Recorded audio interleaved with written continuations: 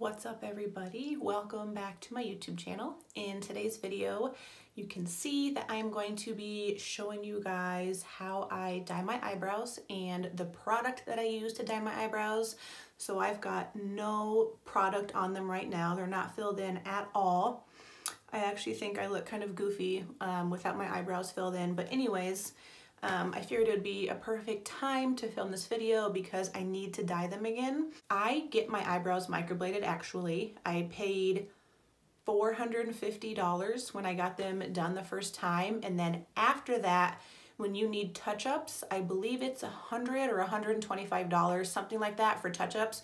So altogether, I've probably invested close to $700 on my brows. Now, it's totally worth it. Microblading is awesome, but it fades really quick on my eyebrows because I have pretty oily skin. Well, my T-zone is pretty oily. So if you have oily skin, it will fade quicker than someone who has more dry skin. So um, I can't really afford to get them touched up as often as I would like. And that is why in between touch-ups, I dye my eyebrows. So that way they are darker, which is just the way that I like them. So if you're like me and you have really fair eyebrows, you might be interested in this, especially if you're like balling on a budget and you can't swing $450 to get them microbladed. So I'm just gonna go ahead and jump right in and show you guys what I use to dye them. This is the product right here. This is the Just for Men um, mustache and beard stuff. Basically, it's intended for men who are getting grays in their mustache or their beard and they can dye it to cover the grays up. But a lot of people use this to dye their eyebrows with um, and it works really well for me. I use the shade medium dark brown. There's a pretty wide variety of colors. They have really light ones and then I think it goes as dark as black. So you can totally pick whichever color you think would suit you best. It does come with instructions and a few little things. I'm not gonna read the instructions for the sake of the video, but if you were to try this at home, I would recommend that you do just to be safe. It basically comes with two tubes of product that I will be showing you how I use in just a little bit. And then it comes with a tray to mix everything up in. I have a brush that I use strictly for dyeing my eyebrows, so I don't use this for anything else anymore. It's an angled brush, so if you are going to do this at home, I do recommend just getting an inexpensive angled eyebrow brush that you can use just for dyeing your brows with. So what I'm gonna do is just take one of the tubes and I'm gonna squeeze a drop about that big. You really don't need a lot at all because you're literally just dyeing your eyebrows. And you wanna take equal parts of each product. So I'm gonna do another drop of the other product, trying to make it the same size. And that's literally it. Now I'm going to mix them together. Okay, so I've got it all mixed up here. Before I actually start applying it, I just wanna say that because um, I've watched videos on this before when I was just interested in learning how to dye my brows. Some people will take Vaseline and apply it directly above and below their eyebrows because they don't want to get this product on their skin. I personally don't do that because, I mean, if I do get a lot on my skin, I'll just take a Q-tip and wipe it off. But if it gets on my skin, to me, it's not a big deal because literally the first couple of times that you wash your face after you do this, it will come off of your skin. So it's definitely not permanent, but if you are worried about that and you don't want it to stain your skin a little bit, then you can either put some petroleum jelly or Vaseline above and below your eyebrows, or just take a q-tip when you're done and wipe off any excess that got on your skin. So the way that I do this, I literally just act as if I'm filling in my eyebrows with product. So I like to start at the arch of my brow and work my way towards the tail end. And then once that's all filled in, I come and do the front. The reason is because I prefer more of an ombre eyebrow look.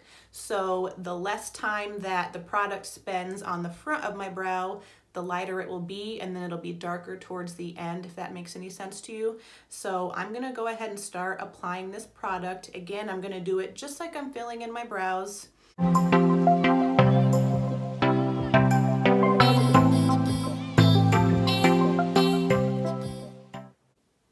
Okay, so I have the product in my right eyebrow. You can't really tell yet, but once it starts to dry a little bit more, it's gonna look really crazy. It's gonna look a hot mess.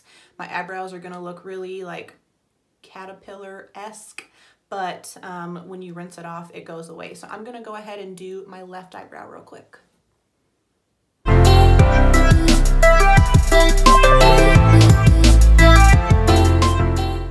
Okay, so I just applied the product to both of my eyebrows.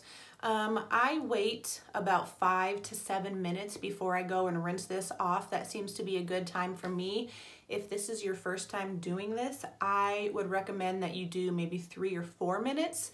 And then if you rinse it off and you realize that you would have liked it to turn out a little bit darker, you can, the next time you do it, just leave it on for a couple extra minutes until you found out a time that works really good for you but five to seven minutes works really good for me. So as you can see right now, it's starting to get kind of dark. It looks a little strange, but like I said, that all washes off. Um, I'm gonna get ready to go wash it off in just a minute here, but I will say that I remember when I read the instructions, it mentioned that you should use shampoo instead of soap to wash this off because it really gets all the residue and the product off of your brows and doesn't leave any behind on your skin or anything like that.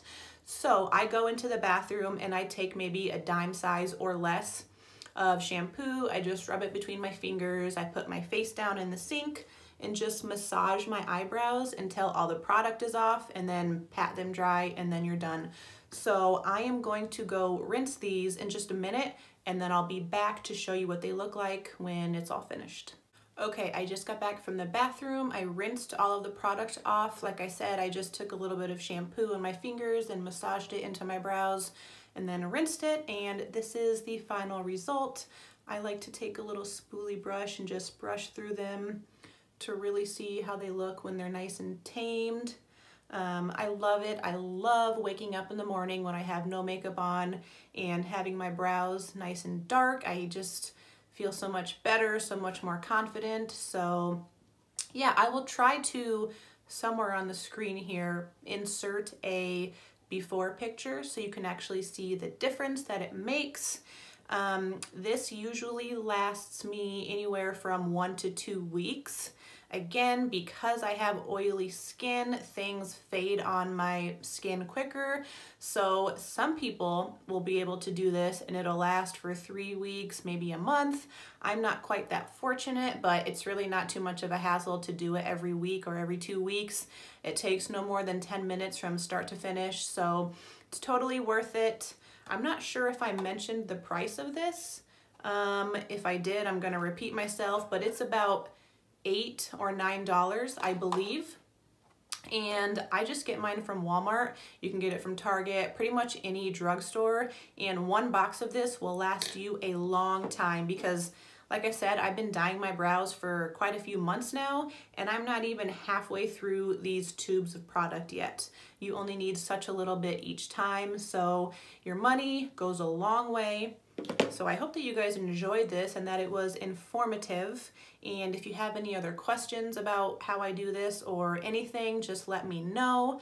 Thank you so much for watching. Please subscribe to my channel if you're not already, and I will see you all in my next video.